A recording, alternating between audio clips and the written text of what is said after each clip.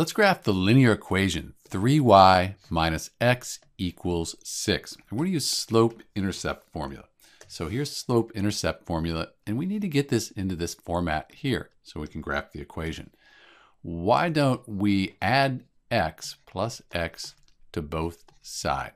That'll give us 3y, this is 0, equals 6 plus x. But I'm going to put x plus 6 since the x comes first here in my slope-intercept formula.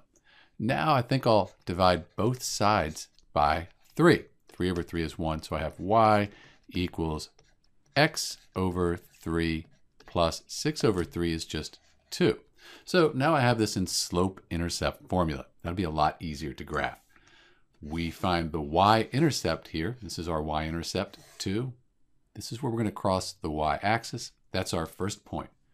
And then for the slope, let's call this 1x over 3. 1x is still just x, but now we have 1 over 3. We can call the 1 rise and the 3 run. So our rise is 1 and the run is 3. So we go to the y-intercept, we rise 1 and go to the right. We run 1, 2, 3. Let's do three points just to make sure. We go here to the new point, we rise 1, run one, two, three. You can see they line up. Let's put a line through it. Put an arrows on the end there, show it goes to infinity. So that's the graph for 3y minus x equals 6. You could put values in for y, get values for x, and then you could figure out and do a table of values to draw the line. You'll get the same line either way. This is Dr. B, graphing 3y minus x equals 6. Thanks for watching.